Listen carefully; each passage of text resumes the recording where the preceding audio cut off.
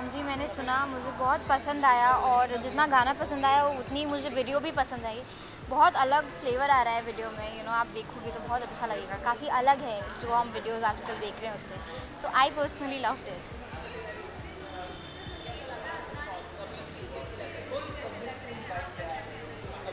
हाँ I think वो थोड़ा uh, मिला रहे हैं लोग उसको but I think Adnan has acted really well मुझे बहुत अच्छा लगा और बहुत अच्छी स्टोरी है और उनको परफॉर्म करने के लिए मिला I think which is very good क्योंकि एक एल्बम में मोस्टली आपको इतना कुछ मिलता नहीं है अपनी स्किल्स दिखाने के लिए एक्टिंग स्किल्स दिखाने के लिए। बट इसमें उनको पूरा मौका मिला और आई थिंक उन्होंने पूरा जस्टिफाई किया उसको। सो so, या yeah. मुझे भी बहुत अच्छी लगी एक्टिंग भी और जो एल्बम है वो भी। सो so, क्या बोले बिकॉज़ पहले अदनान भाई की कोई मतलब कि इतनी मतलब कि एक्टिंग वाला और इतना इंटेंस वाली एल्बम आई नहीं है। तो पहले ये आई है और बहुत अच्छी लग रही है।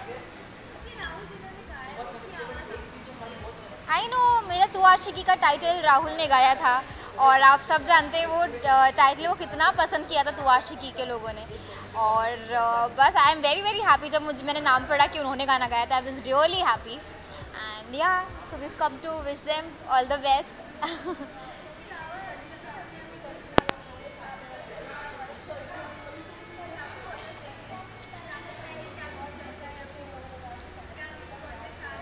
हाँ जी प्रोजेक्ट्स आ रहे हैं और सारे अपडेट जैसे हम आपको देते रहते हैं, वैसे देते रहेंगे। Everything coming very very soon and जिस तरह से आप लोग इतना प्यार देते हैं और हमेशा आते हैं हमें विश करने के लिए वीडियोली होप कि उसमें भी आएँ। And that's it thank you Ram ji का, नहीं नहीं, हमने राम जी का गाना नहीं किया इस बार। इस बार उनका गाना नहीं किया। बस हूँ से।